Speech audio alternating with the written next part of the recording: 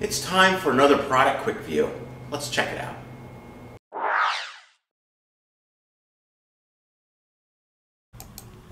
Today we're going to take a look at the Dynacom rack mount 3 panel slide tray. Manufactured out of cold rolled steel with a black powder coat finish. Now the rail stops prevent the tray from being pulled too far out damaging fiber splices. Also includes a couple of splice trays. There's the first one, holds 12.